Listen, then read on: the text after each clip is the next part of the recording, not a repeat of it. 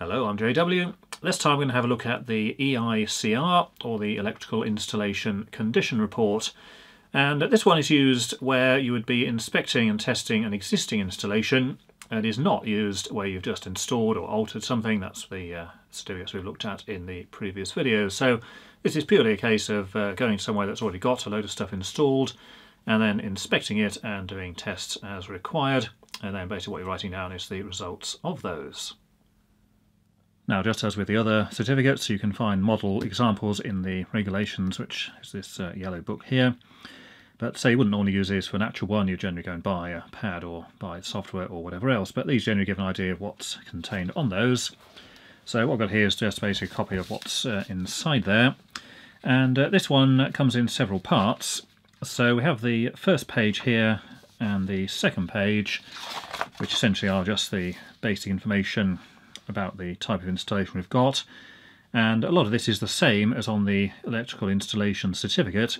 And again, it's the uh, characteristics of the installation and the various persons involved and who it's for. And then we've got this section here, which is basically for anything which is observed to not comply with the regulations. And then you would just list those in here with codes as appropriate. Then we have these two pages here, which are basically a checklist of various things which need to be inspected and it's broken down into various sections. Again, we'll look at that uh, in more detail in a moment. And then the final part is the actual test results. And this is actually the same as on the other certificate as well. So again, it's just a question of the various circuits, the description and test results for each one. And so that's the same one you'd use on the electrical installation certificate. So a lot of this is similar to the installation certificate, but the main difference is you've got a whole load of stuff to be inspected here. And of course, you're not actually reporting on something you've just installed, you're basically reporting on what's there, most likely been done by somebody else, and it could have been a very long time ago. Now, of the documents there, the actual test results is exactly the same as we'd used with the electrical installation certificate, so we're not going to cover that in this particular video. But suffice to say, it's the same, it's just the uh, list of the circuits here, and then of course the various test results completed there as required. So uh, have a look in the other video for uh, filling that one in, because so that is literally the exact same item. Now for the actual two report pages themselves, a lot of this is also the same as on the installation certificate, specifically on the second page here where we've got the specifics of the particular installation, so things like the earthing arrangement and the type of supply and the voltage and so on. So uh, this particular section here again is pretty much identical to you do on an installation certificate and again all this information is obtained via the actual say type of earthing and so on. So again we're not going to cover that in this particular video because again we've already covered that on the installation certificate video which was done some weeks ago. So we'll have a look at the uh, first page of this, and a lot of this is fairly common sense and pretty straightforward, so we'll just uh, quickly fill some of this in. Now, uh, section A here is details of the client or person ordering the report, so whoever that is, and of course the address and name in there. And that doesn't have to be the exact same place as the report's being done, because you've got a separate section here for details of where the actual installation is located. Now, of course, they can be the same, but of course in many cases the person wanting the report is not actually going to be living at the address in question. So the person for this particular report is Professor F.J. Lewis of All Souls College, Oxford, and in this case we're going to say that the installation is at a different address, in this case 38 Edith Road, Purley. Now uh, section B here is the reason for producing the report, and this can be a variety of different options. In this case we're going to put down that it was for a uh, safety check, basically to make sure it's still uh, serviceable and not going to start killing people. Again, you can have various different reasons in there. But, uh, safety check, what we're going to have for this particular example. And for the type of premises, again, fairly obvious stuff here. We've got domestic, so places where people live. Commercial, so there'll be like offices and shops and things, and industrial, sort of factories and the like. And you can have other, because of course there are things that don't necessarily fall into those three categories. This case, we're going to go for domestic. And other could include things like hospitals and things like that, which aren't really any of those and uh, estimated age of the wiring system. So again, this is what's already installed and in existence, and uh, you may have documents to support that, but uh, in many cases it's going to be some kind of estimation, as it says there. Evidence of alterations and additions. Yes, if there's obviously things which have been added since the original installation. You'd only select no if you know for certain that what was installed however long ago it was is all that's there and nothing has ever been added or altered. That's a fairly unlikely one. Not apparent is quite a likely choice as well because uh, bearing in mind that there's not likely to be a huge amount of documents for a lot of installations so there may have been or there may not but uh, not apparent of course could imply that there's stuff that uh, you haven't seen and uh, it's often the case there is and if there are additions then how long ago were they done so in this case to say probably about five years ago. Now, if you've got documents from the previous thing, such as the installation certificate and minor work certificates and things done since then, of course you can just refer to those and uh, fill in the details. Unfortunately, in a lot of cases, there are no documents available, and uh, of course they're either never existed or were lost or thrown away long ago, so it is going to be some sort of estimate. And you can usually get a decent idea of, say, the type and style of wiring. A lot of wiring actually has the uh, production date stamped along the side of it, and things like what type of sockets and switches are fitted and the style of them gives you some indication of the age of those. And installation records available, again they should always be available, but in many cases of course they're not, so they don't necessarily keep those or may not have ever existed. Now data last inspection, you can of course get that from the uh, installation records, so previous certificates and the like. If they're not available there should be a label on the consumer unit which uh, states the date of last inspection, in which case just uh, put in the date there. But as with the rest of this, in many cases there's no information given, so again you're just going to have to assume that uh, it hasn't been inspected basically since it was installed, so again you would install the appropriate date inside there. So in this case we'll just put uh, unknown, because obviously you don't actually know then can't go making up information. Now section D is essentially what is covered by this report and this can be the entire installation within a building, or it could be just, say, certain circuits or certain parts of those. So again, it's just describing uh, what was actually covered. And uh, we could put in here, for example, all fixed wiring. Again, on very large installations, say commercial industrial ones, it may be that you're just going to do a selection of some of the circuits or some of the distribution boards or whatever. So again, just detail in there as appropriate. And uh, in addition to this, you can also have various limitations here meaning you're not necessarily going to inspect and test every single item within the installation because that would be extremely time consuming and probably not particularly relevant. So again, you can detail here anything you're not going to be inspecting, and again the reasons why that is, say maybe it wasn't required or it's not particularly practical to get to certain areas, and in, certainly in say industrial type environments, it may not be appropriate just to disconnect the entire installation from the power for several hours or days while all this stuff is done. So you may only do uh, certain types of testing, and again for the inspection side, you may only inspect a 25% of the socket outlets, for example. It all depends on the individual circumstances. So again, you just fill in those as appropriate. And agreed with would normally be the person who's ordering the report, but again, you put their name in there, and of course, uh, that often would be the same as the person actually requesting the report.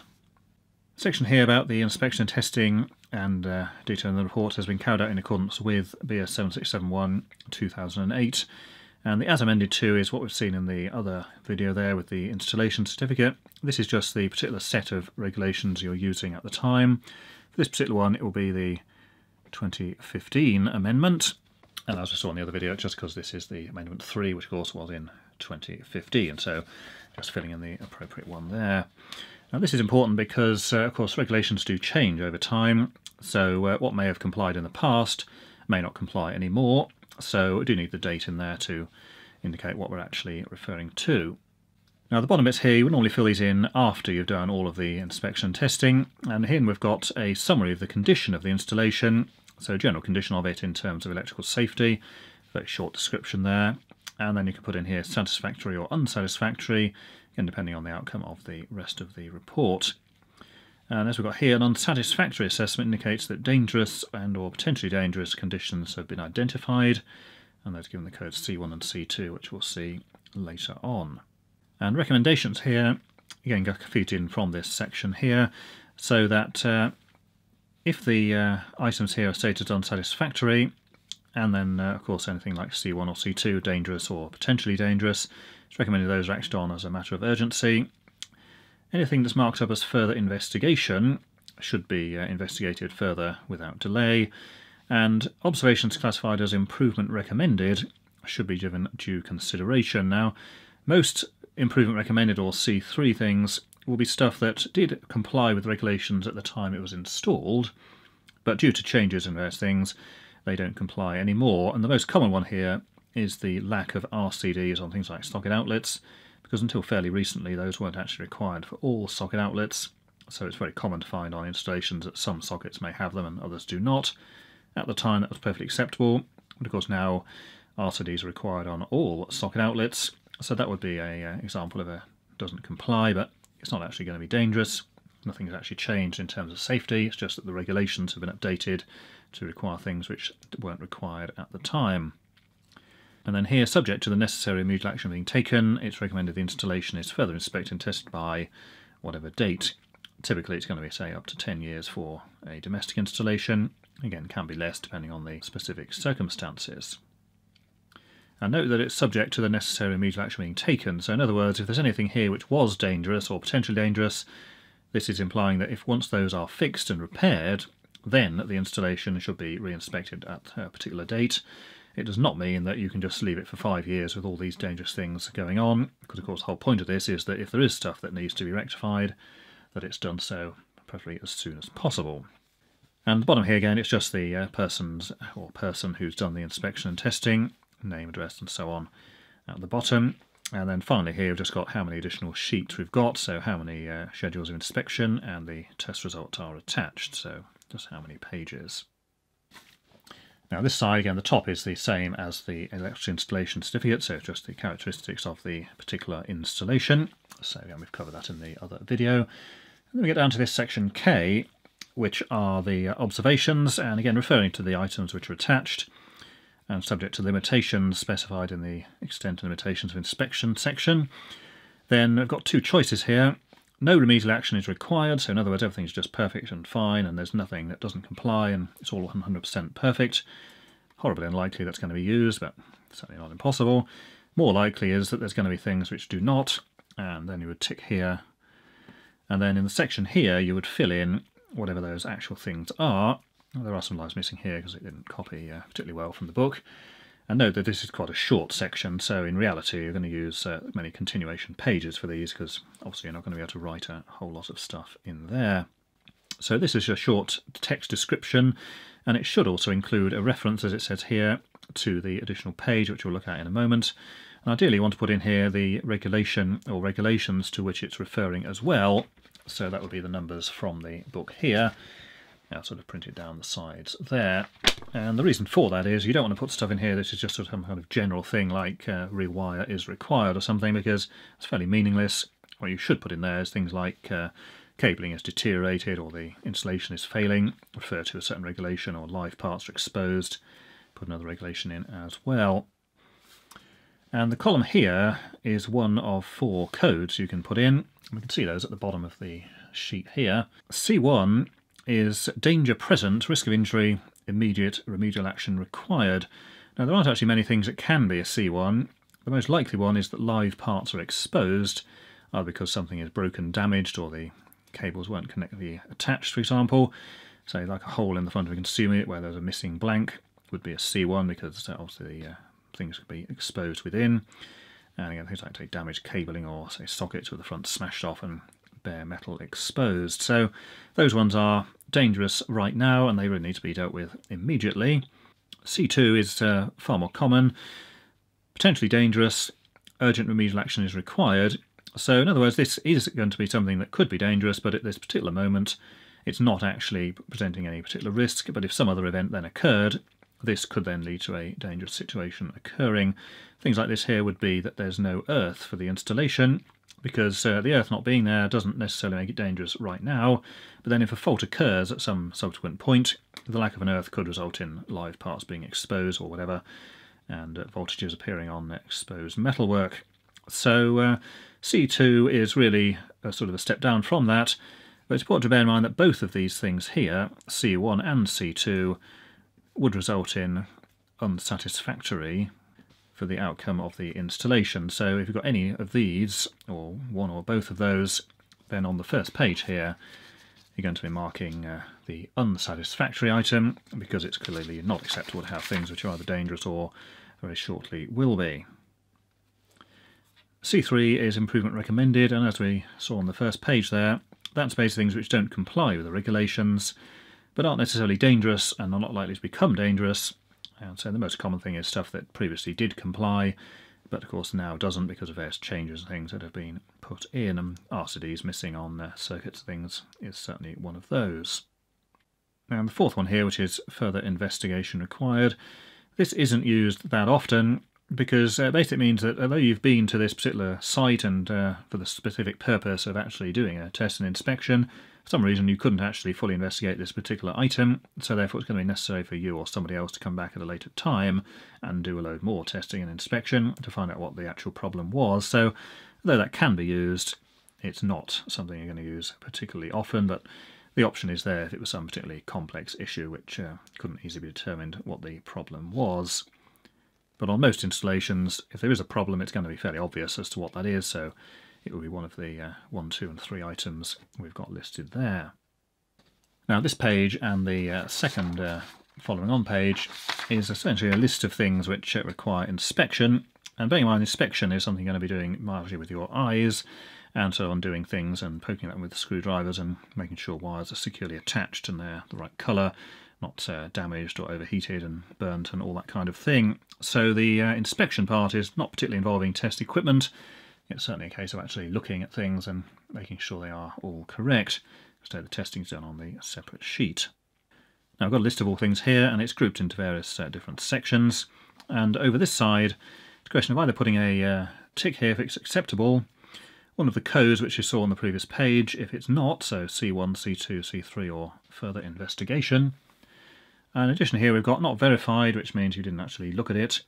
Limitation means that uh, it couldn't actually be accessed for some reason, so say it might be uh, locked away in a cupboard or something, you couldn't get in there, or buried under the floorboards or some other problem. And not applicable, because uh, certain things on this list simply won't exist in a particular installation, so of course they uh, don't apply and you're not going to be inspecting them.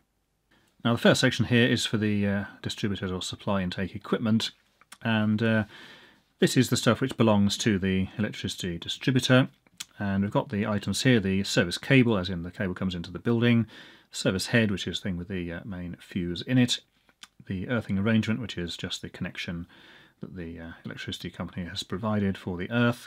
Now of course that may not be applicable in some cases because they don't always provide that on a TT uh, installation. The uh, meter tails now we've got the two parts there, the distributor and the consumer side, so one's before the meter and the others are after the meter. Conditioning of the metering equipment itself and condition of any isolator, and again where present because not all installations actually have those. So you would uh, obviously check that these items are in good condition, they're not sort of falling off the wall, and there's no obvious damage to the outside, sort of cracked and broken parts and so on. And then again, if the uh, O's are acceptable, then you would just tick over here as applicable. And of course, where they don't exist, such as the isolator, that would definitely be a case of putting uh, not applicable, because if there isn't one, obviously you can't inspect it. Uh, present of arrangements for other sources, such as microgenerators. Again, that may well not be applicable, because if you haven't got additional sources of supply, then obviously it's not going to be applying. Now, earthing and bonding arrangements. And uh, from this point onwards, we've got the actual regulation numbers printed in here, so the actual regulations printed next to each item and also the chapter which this refers to in chapter 54 in this case. So any doubt about what these are actually referring to, you can simply uh, refer to the particular number here and then just look it up in the book to see exactly what is required. So there's not really any particular mystery about uh, filling these in, it's just uh, obviously reading what's there and looking it up in the book if necessary. And as with the other ones, it's either tick or the codes applicable. So, uh, presence and condition of the distributed earthing arrangement and the earth electrode connection where applicable. So if it's a, say, TNCS supply, well, that's not going to be applicable. Provision of earthing and bonding labels at all appropriate locations. Confirmation of the earthing conductor size. Obviously, it may well be too small on certain older installations. That could be an example, say, of a C3. That being too small isn't actually going to necessarily be dangerous. It just means that, uh, say, on a TNCS one, it may have had a 6mm in the past, Regulations now require a minimum of 10. But again, it was perfectly safe when it was installed, so that situation hasn't changed. Accessibility and condition of the earthing conductor at the main earthing terminal, or MET. Confirmation of the main protective bonding conductor sizes. Again, similar with the other one there, that they may find that they're undersized, but again, that's not actually a dangerous situation. It just means they really should be upgraded to the correct size to comply now. Condition and accessibility of the main protective bonding conductor connections, and obviously of the uh, any other bonding connections as well. This one can also be not applicable in many cases because bearing in mind we've got the main ones and supplementary bonding often isn't required in a lot of new properties, subject to other conditions being met. Now when it's saying accessibility, what this means is you can actually get to them reasonably easily and confirm that they are properly connected and the screws are tightened up and whatever. So if you find that, say, in the bathroom, the, uh, say, supplementary bonding was underneath the bath and someone put a bit of plywood over the front and then put a load of tiles over the top, pretty obviously that's not acceptable because accessibility clearly isn't going to be met there. And the same with these other items here. It's not uncommon to find things that have been uh, accessible when they were installed, but then subsequently the uh, changes to the building or someone installed a kitchen over the front of it means that these things no longer can be reached. And we'll look at again at the end of this video at certain uh, pictures and things which I've found, so you can see some examples of those.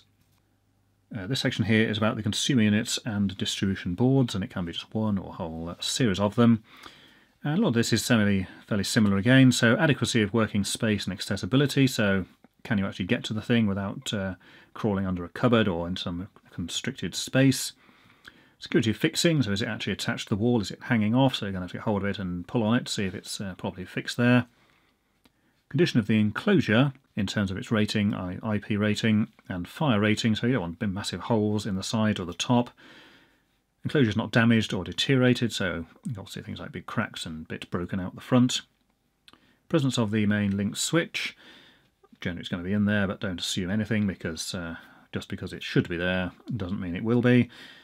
And then we've got operation of the main switch and manual operation of these circuit breakers. So you do actually need to turn the main switch on and off and also the circuit breakers and RCDs on and off. And once you've turned them off, actually confirm with the test device that the circuits have actually been disconnected because just because the switch has moved, contacts inside can fail and jam closed or even jam open. So you need to actually confirm all of those. Identification of circuits and protected devices, so again there should be appropriate labelling provided. RCD test notice on the consumer unit, assuming you've got RCDs of course, and presence of non-standard colour warning notices, again only if there's actually uh, mixed cable colours within the installation. Presence of alternative supply warning, and again that's only applicable if there is actually some other source of supply, and any other required labelling which is required, or this is in the uh, section 514. Now a lot of that might seem quite minor in that sort of part there, as it's really just ensuring that appropriate labels are put there. But labelling is important and it is a requirement of these various uh, regulations here. So again, if that wasn't there, those would all be C3 items. The fact that the label's not there isn't going to be dangerous, so not a C1 or a C2, but because they are needed, then uh, C3 would put there. Examination of the protected devices, make sure they're correct type and the correct rating. No signs of unacceptable thermal damage, arcing and overheating. So obviously I don't want to make sure that the things like fuses in particular you can put the wrong uh, fuse wires inside. So you need to take any rewirable fuses out and actually look at the wire inside. And again, it's fairly common on the rewirable types to find there's uh, evidence of previous arcing and failures, in which case that would not be acceptable. Single pole switching in the line conductor only, and bearing in mind this is only for the consumer unit, because we're not talking about the circuits here. So any circuit breaks and fusing needs to be in the line conductor, not in the neutral. Protection against mechanical damage where cables enter the consumer unit, and also against electromagnetic effects where the cables enter. Particularly with metal consumer units, you want to make sure there's appropriate glands and grommets here, so the cables aren't damaged by the sharp metal edges. And in theory, you're not supposed to put uh, line and neutral through separate holes because it could cause overheating in the metal structure, although a certain test we did some while ago doesn't exactly uh, show that to be a problem, but again it is a regulation, so uh, if that was the case you would uh, make a note of it. RCD is provided for fault protection. This is only really for TT supplies, um, because note it's the fault protection we're talking about, so this is when a fault between line and earth occurs, and normally with a uh, TNC type or TNCS type installation, then you would be relying on the high current there, which would trip out the circuit breaker or blow the fuse. On the TT system, that won't happen, so you're relying on the RCD there to disconnect in the event of a fault. So that's only applicable really for TT type installations. And then RCD is for additional protection, and this is the one where you have it for the socket outlets, concealed cables and things like that. Confirmation of indication that the surge protective device is functional. Now SPDs are fairly uncommon currently, but some installations do have them and it may be something that's more common in the future. And what this is saying is that all these surge protected devices have a little indicator on the front, generally it's green or red, and if they are fitted you just need to confirm that it is showing as in an operational state and it hasn't actually failed. If it had failed of course it would require replacement. Confirmation that all conductor connections, including connections to bus bars, are correctly located in the terminals and are tight and secure. So you need to get out a screwdriver and just make sure all the screws are actually tight. Now it's important when doing this, you're not actually going to be tightening up even more, because if you over tighten things it can damage the conductors, but you do need to put a screwdriver in there, just make sure they're not actually loose. And the thing with the uh, correctly located is to make sure that the wires, and particularly certain types of bus bar, are actually in the proper place because on certain poor quality consumer units where the bus bar is removable, it is possible to put the bus bar in the bottom of all the circuit breakers and on one or more of them actually miss where the clamping part actually is. So though you tighten up the screw, it's not actually clamping over the metal part of the bus bar and it may still operate in that state. That's a sort of possible loose connection and a good source of overheating and faults at a later time. So you do need to actually get down there and have a look maybe use a small mirror to examine the thing underneath there if it's not possible to get down there and look at it very easily. An adequate arrangement here which really refers to additional generating supplies either as a backup or one that operates in parallel. Again those are regulations appropriate there and there. Those operate in parallel are fairly uncommon because that means it would run at the same time as being connected to the mains. More common though is the backup style which uh, if there's a power failure, the generator will start and the installation is switched over to that one. Now the second page here is about final circuits. So bear in mind all that other stuff was just the consumer unit. This is actually the circuit connected to the consumer unit. Identification of conductors. Generally this means that they're the correct colour, so if it's brown then it's going to be the line conductor, blue for neutral and of course black and red in the older installation. And this also means that if you've say got a switch, where it's line and switch line and someone's used twin and earth cabling, you want to see that there's actually a brown sleeve over the blue conductor to indicate it is actually a switch line, or red sleeving over the black if it's an older type. Cables correctly supported throughout their run. This can really only be inspected on exposed cabling. Obviously if it's under the floor, in the walls, whatever, you're not going to be able to really confirm or deny that. Condition of insulation of live parts. And again, are things sort of cracked, broken, damaged? It's uh, cables with a big slice through it, or has a rat been uh, chewing at the uh, wires and there's bare copper showing through. Non-sheathed cables, which means uh, basically singles, as in it's just the copper with a single coloured insulation over it. They need to be inside an enclosure, such as conduit ducting or trunking, and where those are used, the integrity of the trunking and conduit system also needs to be confirmed, so you don't want just random bits of it sort of tacked together conduit systems do need to be complete and uh, fully contained over the entire wiring system. Adequacy of cables for current carrying capacity for regard to the type and nature of installation. So this implies that just because a cable is the correct size, if say it was a shower circuit and someone installed it in loft and then someone else had come along later and put tons of loft insulation over the top, that may not be acceptable because if you cover insulation over cables, it reduces their current carrying capacity significantly so again, that's something to uh, look for. Coordination between conductors and overload protected devices. And this is really are the cables, things properly sized with respect to the circuit breakers or fuses they are connected to.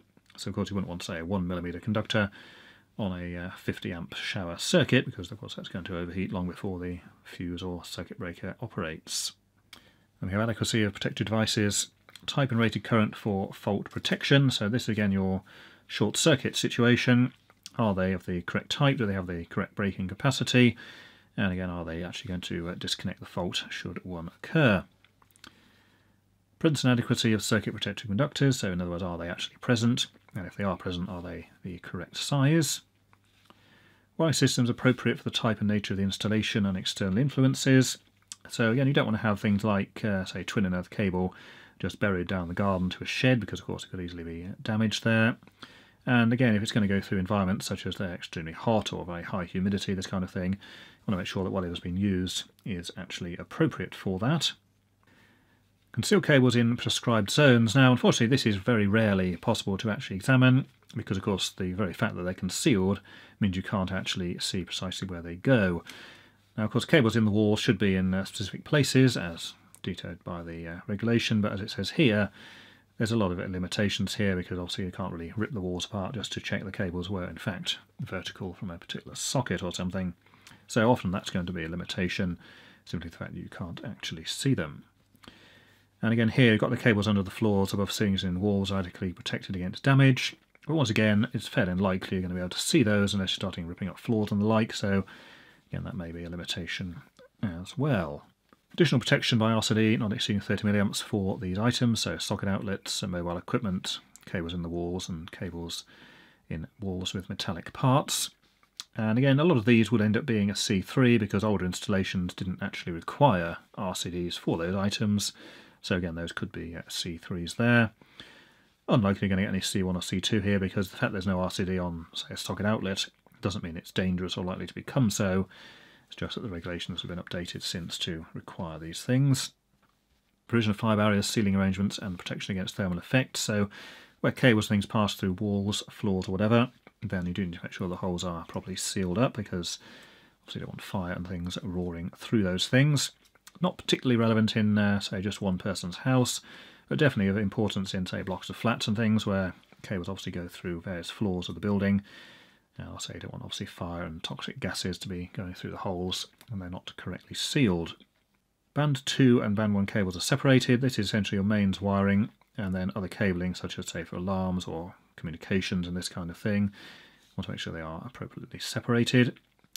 And also cables separated from non-electrical services so having a uh, cable just sort of tie wrapped onto a gas pipe for example that's not going to be acceptable obviously you want to use the proper clips and support for the electrical cabling. One main reason for this is that uh, if you've, say, attached a cable to a gas pipe that just happens to be handy in the area, what happens when someone comes along and needs to alter or modify the gas pipe?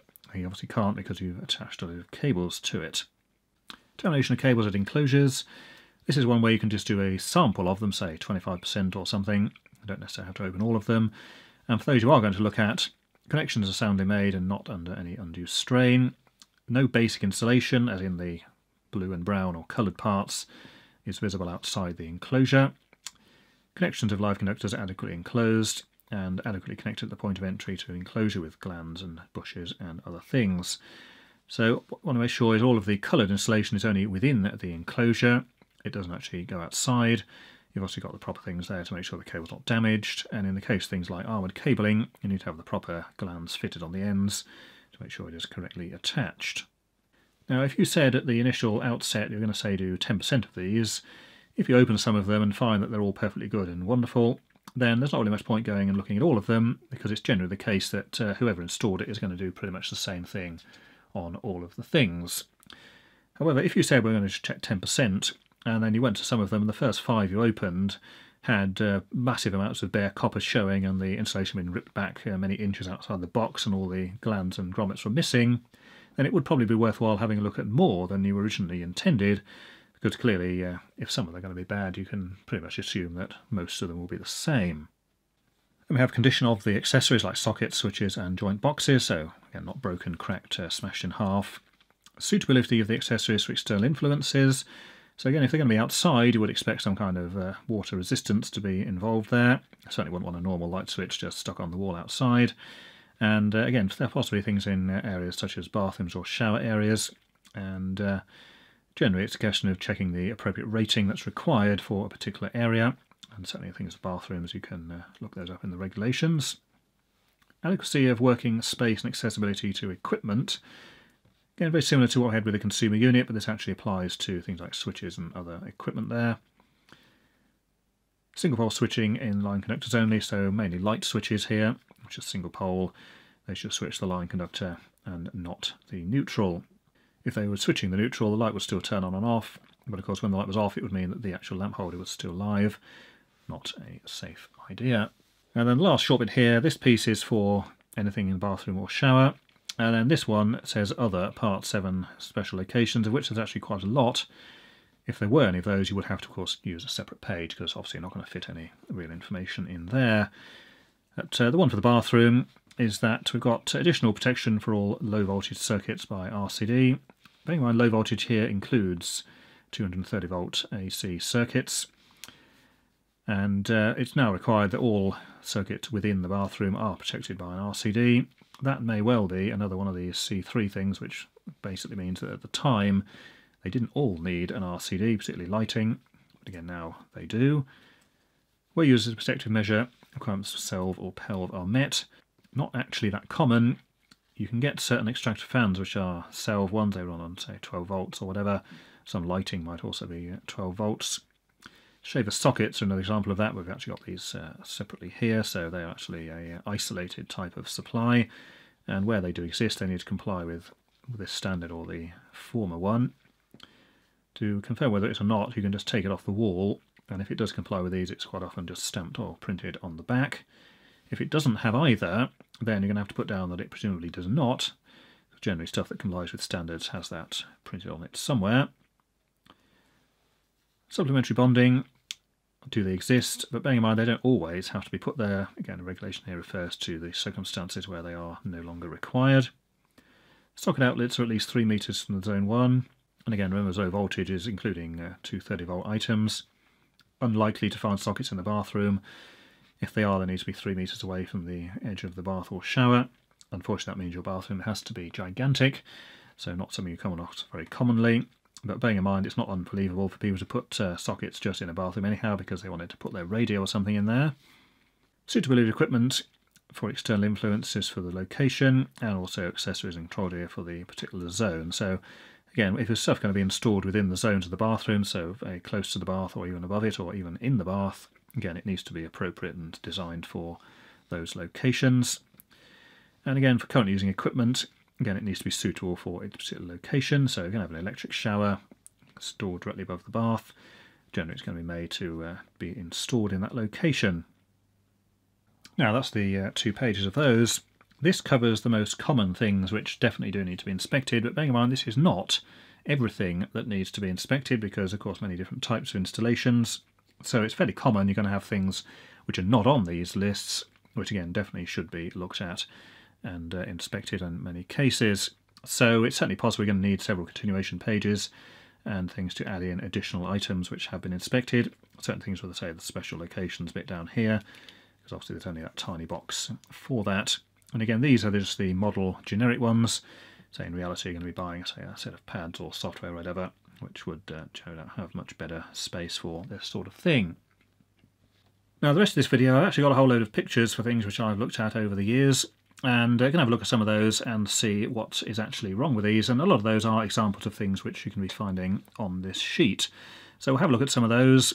Some of the pictures are quite old and they're rather poor quality because they were taken quite a long time ago but nevertheless they're quite useful for examples of things which you need to look for. And for those that don't know, which is probably most people, I do have a website with a lot of this stuff on there as well, including lots of other pictures which are not in this video. That can be found at flameport.com.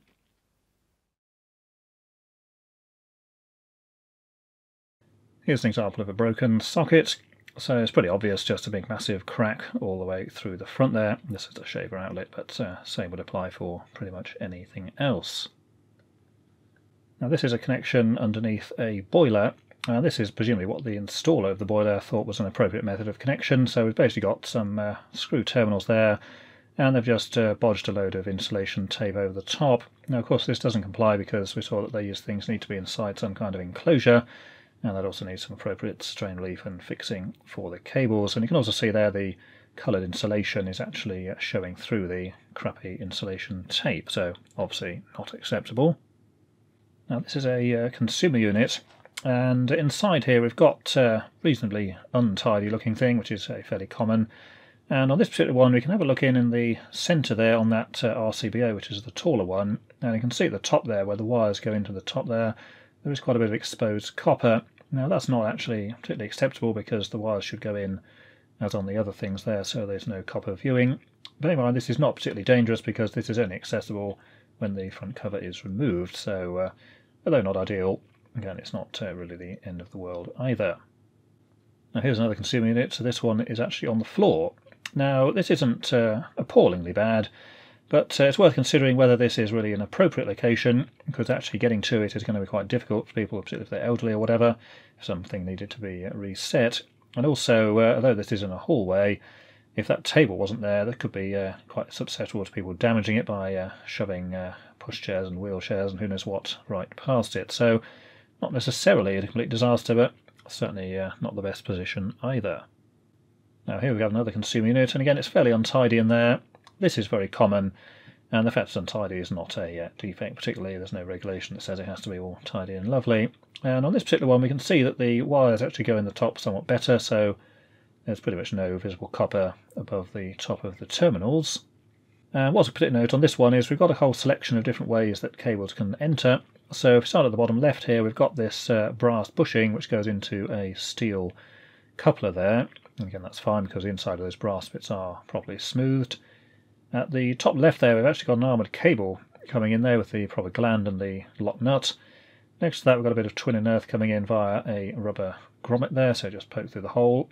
And then over at the right, we've got a uh, gland there, which again is a plastic one, fits through, then it uh, basically tightens down onto that round flex, which goes out to the right side. And then at the bottom, where you can't actually see, we've got a couple more armoured cables and the uh, again socket there with the gland and the coupler on that. So all of those are perfectly acceptable. Also a demonstration of various types of fitting that can be used. Now this is an electricity meter and it's uh, screwed on the usual piece of plywood at the back there. Uh, nothing uh, too disastrous here. But if you look underneath the meter you can see where those cables go in on the right side where you've got the grey insulation has been stripped away and then you can see the internal uh, black inside. So that really shouldn't be showing because that's just the single insulation. That grey should go all the way up to the meter itself. And then on the left side, which is the incoming supply, what we've actually got here is a uh, copper-clad cable, and those red and black are the inner cores, which may have a bit of sleeving over them. And then there's that uh, gland at the bottom of the picture. That should be fixed into some kind of metal enclosure or box. As you can see there, it isn't. Here's a view uh, a bit lower down of the same installation. And you can see that's the main incoming cable. It's a uh, copper covered or MIMS or pyro as it's sometimes called. So that gland on the end is fitted properly, but say that threaded bit should go into some sort of enclosure.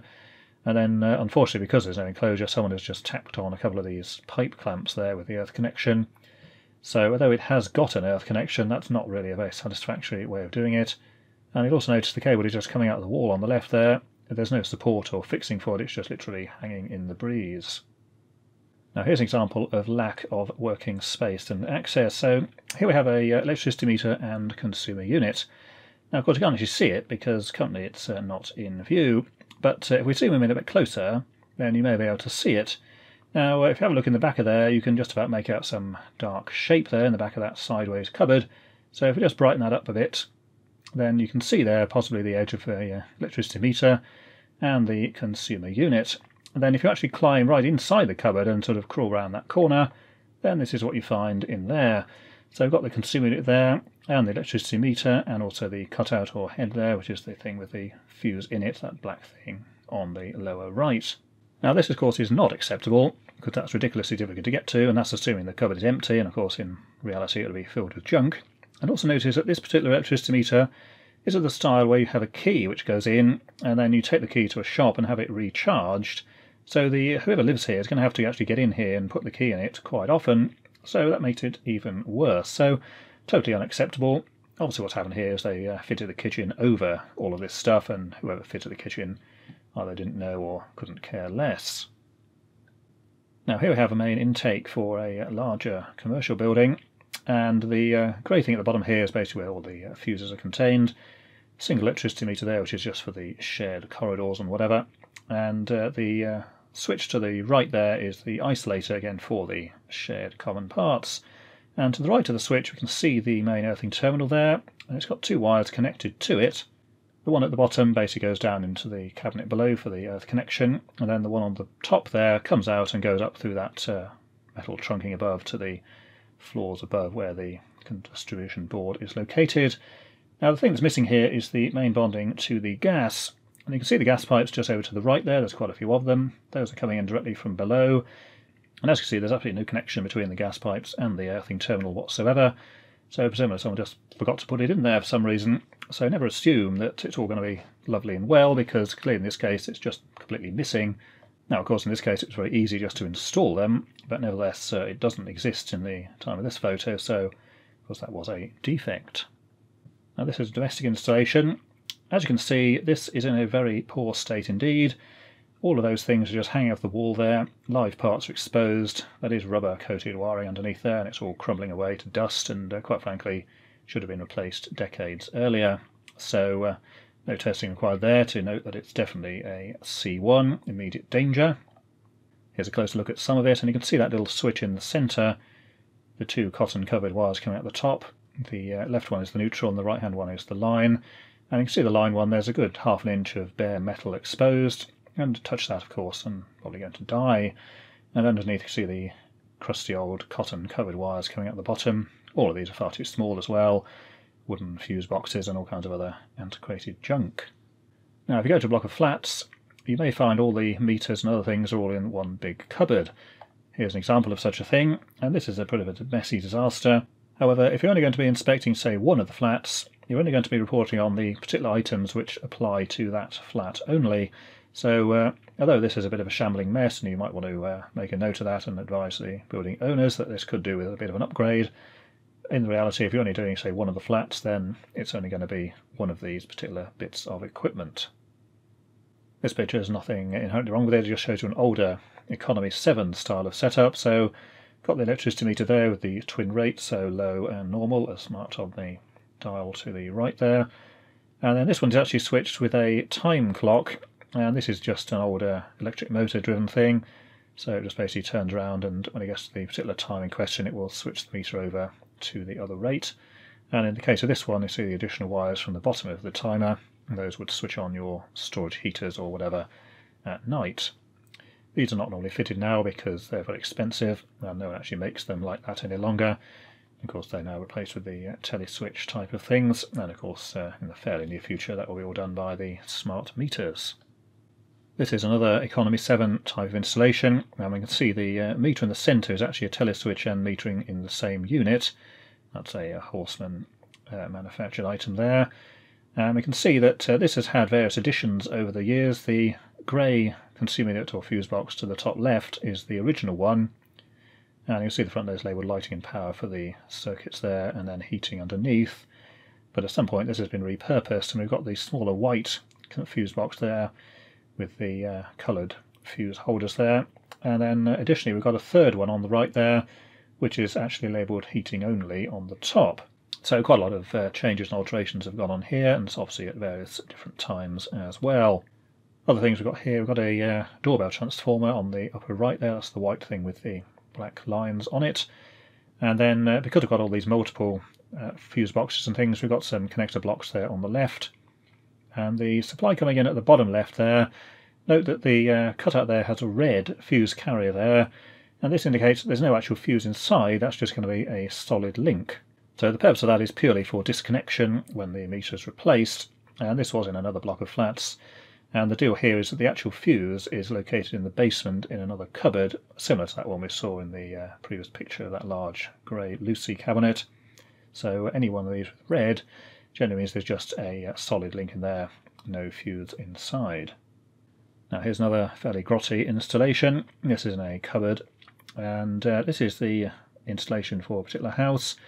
Now we can see this one is definitely going to fall foul of the security of fixing regulation because that board in the back there with the uh, cutout at a jaunty angle and various other bits and pieces tacked on it, it's only being held in place by that big metal cross in the sort of centre of the picture there, and that was actually loose. And although the board has got a couple of screws in the top corners, they weren't actually screwed into anything because the wall behind had crumbled away and it wasn't actually fixed to anything. The little fuse box at the top right also at a weird angle, and all the wires just pulling out of it and not supported in any way. That is actually screwed to that thin piece of timber across the top, and that thin piece of timber was basically just wedged in position, and someone had made an effort of putting a couple of screws in, but again the wall was all crumbly and horrible, so that was pretty much held up by nothing until someone had put another strip of timber underneath, and just sort of tucked it behind that uh, metal cross thing. So there's pretty much nothing holding any of this in position. And if I look at the bottom of this picture, you can see all these various cables and things just sort of hanging in the breeze, not supported or secured in any way. And we've got a couple of older type fuse boxes there as well, all of which are still in use to uh, various different circuits and various bits of cables just jointed together there and generally a bit of a mess all over. Now this picture here is an example of the labelling. Now this has quite a lot of labelling in it and all of this is actually required. So on the left side we've got a consumer unit there which is just for some storage heaters and then uh, of course that is one that turns on with the economy 7 type of thing. In the centre there we've got the two labels, one of which is for the actual inspection date. So this particular one was uh, inspected on the 19th of October 2015 and the next inspection should be in October 2020, so that's a five-year item.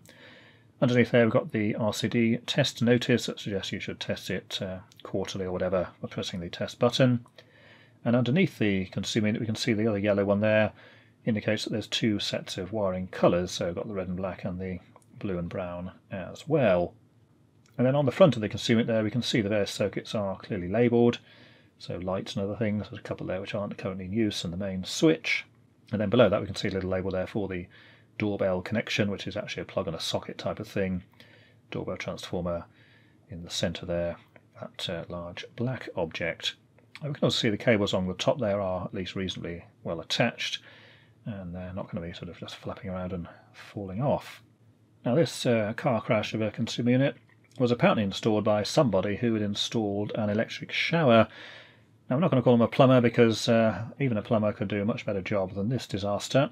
Now this is just some generic cheapo consumer unit which someone just shoved in there in replacement of some other fuse holding thing. Presumably they did this because there was no RCD on the fuse box, so they thought, well, we'll just replace the entire lot. But as you can see, all the wires in here are sort of jointed with various types of connectors, and there's bits of tape in there and all kinds of other stuff. The circuit breaker near the centre of the picture has nothing connected to it, which is uh, kind of pointless to really put it in there. But by far the worst one on this one is the RCD on the left side.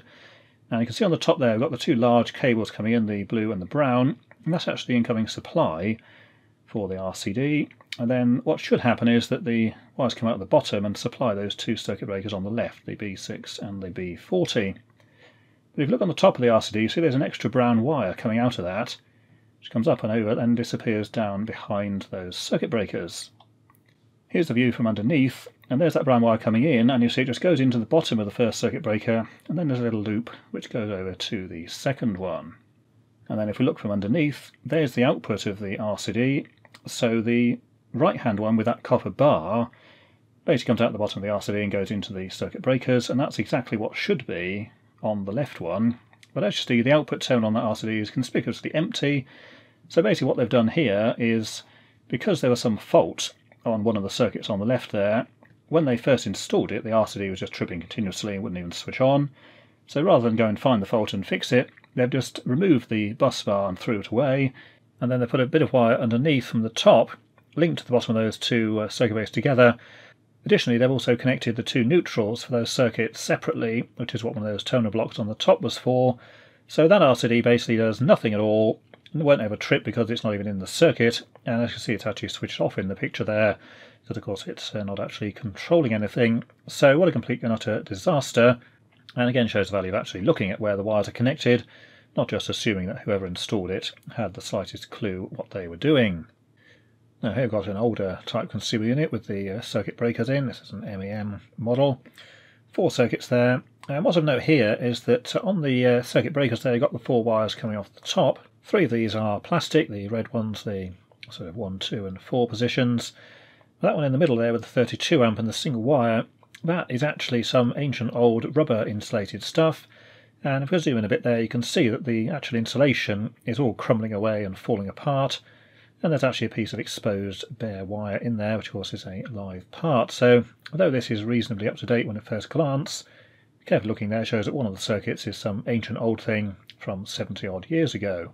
And in addition to this, if you look at where the incoming wires are on the right hand side, the black and the single red there, you can again see that that is in fact some crappy old rubber insulated rubbish and again it's deteriorating certainly at the end where the red wire goes into the terminal and even the black one there has some signs of damage on the front. So all is certainly not well with this one. So uh, certainly a fair amount of repair and remediation is going to be needed there. Now here we have a socket outlet, a single one. This is fitted in a skirting board, and of course looks nice on the front, fairly up-to-date item. But on removing it, again we've got the uh, black and red wires there, and you can see that they're actually single insulated, and they have to go through two separate holes in the metal enclosure. There's also no earth sleeving on the earth wires there, which are just twisted together. And of course, there's no grommets on those holes either, so it's very likely that those wires could be damaged where the sharp metal edges are. So someone obviously stripped this back uh, much too far because this is actually twin and earth type cable. You just see the uh, outer grey covering to the bottom right of the picture. And then they've just basically separated the red and black and shoved them through separate holes for some inexplicable reason. And generally, if you find something like that on an installation, you can be pretty sure that most of the others are going to be just as bad. So here we have another socket on the same installation. Again, it's in the skirting board. And as before, there's no insulation or sleeving on the earth conductors there, the twisted grey metal ones to the left. And although the line and neutral do come through the same holes in this case, as before, it's been stripped back way too far, and there's no grommets in the holes, so the metal edges, of course, can damage those cables. This is a bit out of focus, but uh, this is what happens when you have old rubber insulated wiring. What we've got here is a uh, twin and uh, not earth, because there isn't one, and it's sort of a black insulated outer covering, and then it was red and black rubber insulated wires inside. Now the switch on the front is relatively modern, but the insulation is completely falling off and crumbling away to nothing, exposing live conductors there. And bearing in mind it's got a metal back box, just about see at the top left of the picture, there's no earth connection to any of this, so the worst that's going to happen here is that uh, these wires will contact the metal backing of that, and that makes the whole of the backplate live, and also the screws that fix the switch to the box. And of course the fuse won't blow or anything because there's no earth connection to any of this. It'll just sit there waiting for someone to touch it and get an electric shock. And even if these wires short together, all that would happen is the light would just stay on all the time, and again, all the things would still be live waiting to kill somebody. The wiring of this installation was way, way past its replacement date. Uh, best estimate on this is this wiring dated from the 1950s, and this was still in use uh, in the sort of mid 2000s when this photo was taken. Now here we've got an example of an earth connection or bonding connection, which again does not exist. Now what we've got here is a TV distribution system. This is one that does satellite and uh, terrestrial and radio and all kinds of other stuff. And if you look at those two metal bars there at the top, with the various wires sort of going through and also a smaller one below, on the end of that there's a connection where the earth bond should be connected. And if we zoom in we can have a closer look at that. And you can see it's got a little earth symbol next to that. It says safety earth, do not disconnect.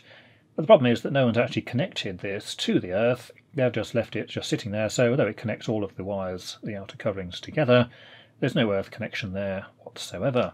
And the same with the bottom bar, the shorter one, again nothing connected there at all. So uh, again these had to be installed. This is the same installation as that one with the large cabinet on the ground floor. You can see the gas pipes going to the right there. Here's another moderately uh, old installation. Um, we can see at the bottom there the uh, fuse or cutout there and the wires into the electricity meter. And again, we've got several uh, different fuse boxes here. That brown one at the top is probably the original, although someone's refitted those uh, push button circuit breakers in it at a later date. And then on the left side, we've got a smaller white one with the push button circuit breakers in it. And above that, we've got a plastic unit, which of course is for a shower, as it says on there. Now, the white plastic one, the uh, thing itself is not particularly well fixed because, as you can see, it overlaps that uh, wooden board at the bottom, and it was actually sort of screwed into the board and not particularly well into the wall, so it wasn't uh, properly securely fixed. And another thing about that particular one, if I actually zoom in there, you can see the three circuit breakers there. We've got a red, a white, and a green one. Now the problem here is that these things here are generally only rated to about 40 amps or maybe 60 amps in total.